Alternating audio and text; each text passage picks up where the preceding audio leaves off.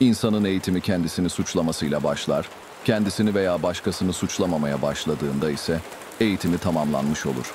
Epiktetos